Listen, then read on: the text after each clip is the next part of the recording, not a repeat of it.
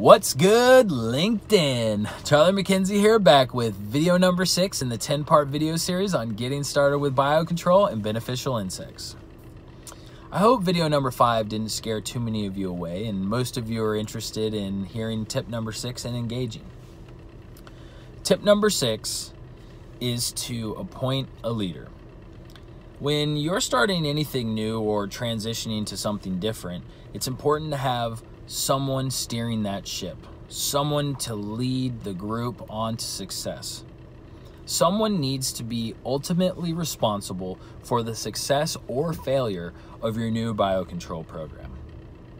This person should have a few qualities such as dedication, diligence, attention to detail.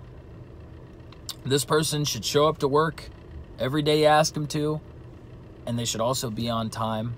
This person should have the ability to train and educate and lead.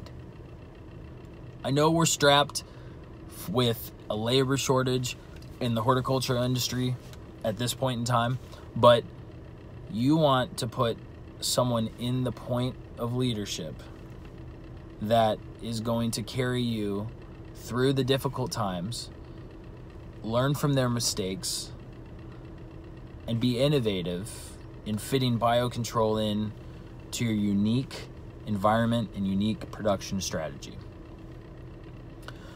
So, to summarize, tip number six is to sit down with your team and appoint a leader.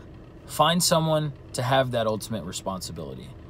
Find someone to lead you to success. LinkedIn, as always, much appreciated. Can't wait to see you tomorrow. Until then, remember start clean, stay clean.